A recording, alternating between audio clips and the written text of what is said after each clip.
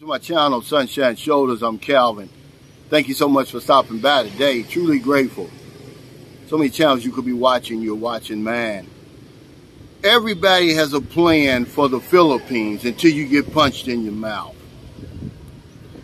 And I got this idea for this vlog because recently, a few weeks ago, a young brother from America was murdered in Santiago, Chile this guy wasn't an amateur. He wasn't a novice. He was a world traveler, a lawyer, an asset to his community. And remember, I always warn you that we haven't come up with a solution for being in the wrong place at the wrong time. It's basically what happened to him. He was innocently taking some photographs. Three armed men come up, accost him, and shoot him to death. And I thought to myself, could this happen over here in the Philippines? Because Santiago, Chile has a reputation for their citizens being friendly and hospitable, just like the Philippines. And I said, and I said, of course it can. You know, it's Murphy's Law in effect. But many of my viewers and subscribers have not one iota of the experience this guy has most of us, our plan doesn't go any further than this. I'm going to watch a few more videos on YouTube, sell everything, pack up and move over there. It seems so easy because they see guys like me and several others having success over here. But it's simple, guys, but it's not easy. Watching YouTube videos it's just one part of the equation, a very, very, very small part of the equation. And because that's all we do, we're followers. And followers don't make it very far in the world. You have to be a leader, man, in your own life if you're talking about moving so far overseas. We're not talking about to Mexico. We're not talking about the Caribbean or the Caribbean, however you want to pronounce it. We're talking about moving all the way over here to the Philippines. So that's our plan.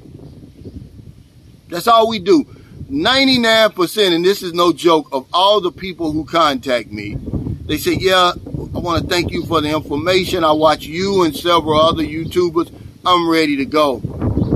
We don't do any other research, guys. That is a plan for disaster. We don't research the political climate. We don't even realize, hey, is my money going to be safe over here in the bank? Is my investments going to be safe? We can't even name the vice president of the Philippines. We don't research that. That's very, very important. Is it stable? You know, for, for many of us, and I'm going to let you in on something watching, we're fortunate that the Philippine government is stable over here. They have strong leaders and the people follow the leaders. But that's the only thing save you.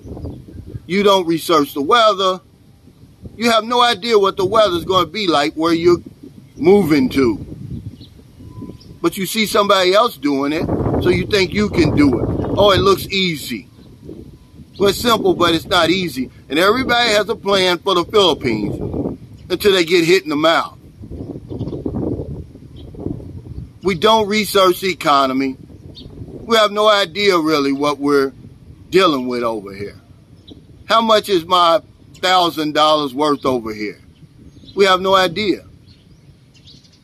What's the cost of the electricity over here? We have no idea. We think that we can just watch YouTube videos. Guys, we're amateurs really.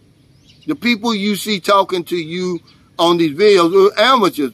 We're not government officials. We're not professionals or anything like that. We're giving you our boots on the ground experience. That's all. One thing I can say that you have at your disposal is the law of favorability. Because it's your first time coming over here. Look that law up. It's called the law of favorability. If you ever shot dice for before, and the first time you, you always get lucky. You play cards, the first time you get lucky. That's the law of favorability. I went to the casino one time and a lady had never shot the dice before. She was there to get married. It was Derby weekend. Her brother was there, had come from the army in Hawaii. I was losing. I was down about a thousand dollars, which is a lot of money for me. This lady got on the dice and stayed on the dice over an hour. I've never seen anything before or after this. Her brother ended up winning 50000 The guy sitting next to me from uh, Louisiana, who's there for the Derby, ended up winning 86000 I won about 6000 And she had no idea what dice were. It was the first time she ever picked up a pair of dice. See, that's the law of favorability, and that's what saved many of us when we come over here. But that eventually runs out. But yeah, everybody has a plan for the Philippines so they get hit in the mouth. And they realize, you know, my plan's not strong enough. It, it, it, there's, there's no depth. There's no substance to it. It's going to take more than YouTube videos. We move over here for the wrong reasons. And wherever you're going overseas. Let me remind you one more time. A woman is no reason for you to sell everything in your country and to move over here. It's not that easy.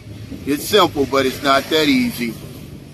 And it's going to keep happening no matter how many times people like me remind you. That's not a good enough reason to come over here.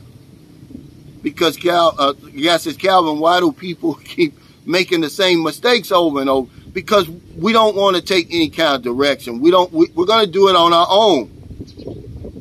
You know, the last video I made about, hey, I had to rethink this $1,000 a month a budget. I got so much pushback on. And these are the guys who are going to fail over here. A lot of them never been over here. A lot of them haven't even lived here long enough. But I'm going to tell you why I made that up. I did it. I had about between 12 to 1400. I was taking care of five to six people. But you have to understand that was during the lockdown, guys, when I was making those videos. We couldn't go anywhere. We couldn't do anything. Now it's opened up. Number one, we can go anywhere we want.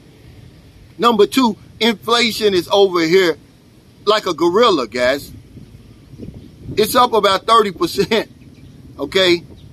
I buy the same groceries every week for my community pantry giveaway. It used to be a thousand, thirteen hundred.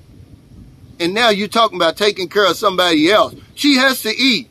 And let me remind you, I buy pads, I buy panty liners that I don't wear. So it's more money that I'm going to have to spend that I didn't even plan for. But coming over here for a woman, it's no reason, guys. It's no reason. And we don't do enough research about that and we end up going back home. We don't bring enough money.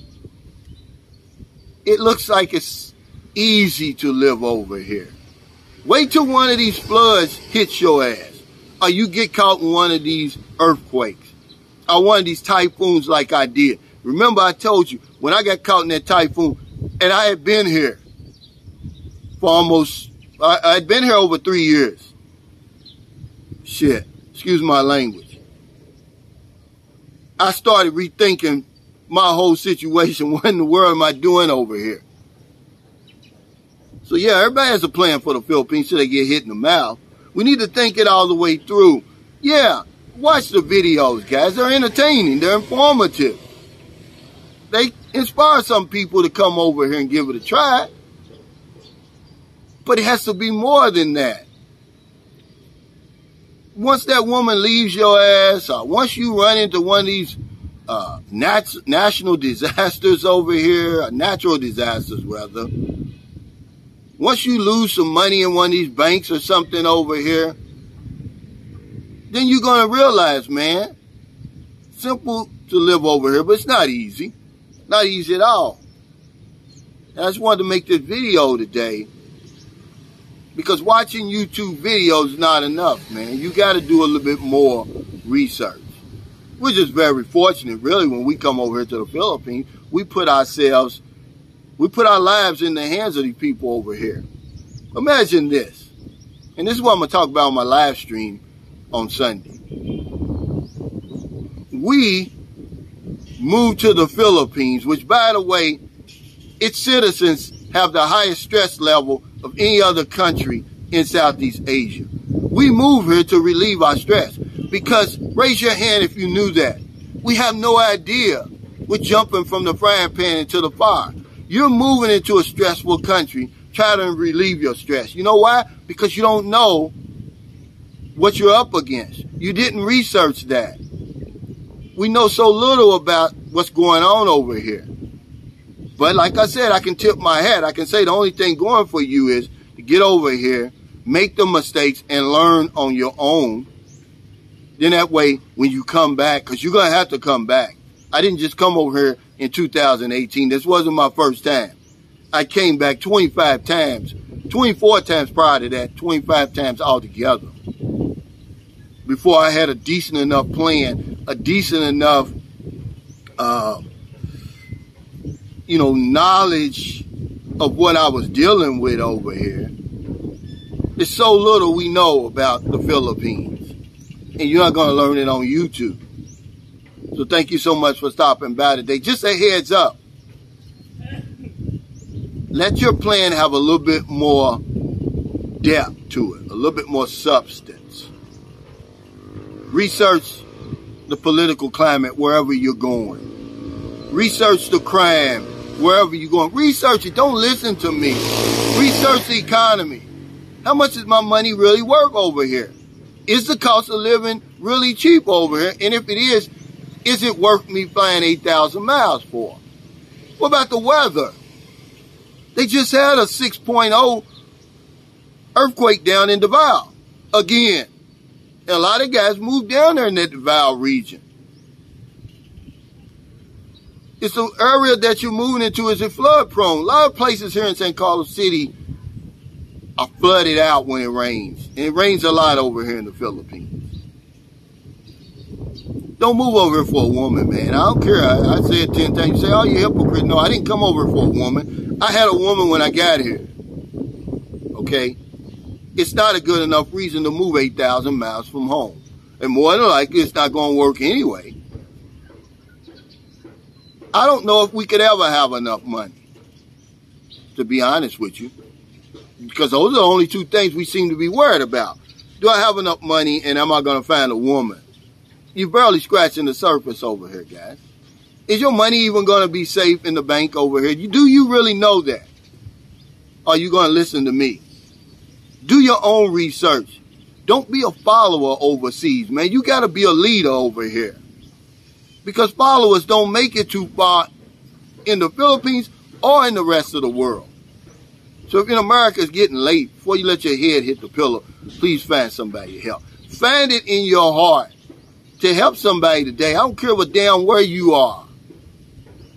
Those are the ones who make it overseas, the givers, not the takers. Because if I don't know anything else, I know this one thing for sure. We help other people. We help ourselves. Take care. Stay safe. Stay COVID free. I'll see you next time.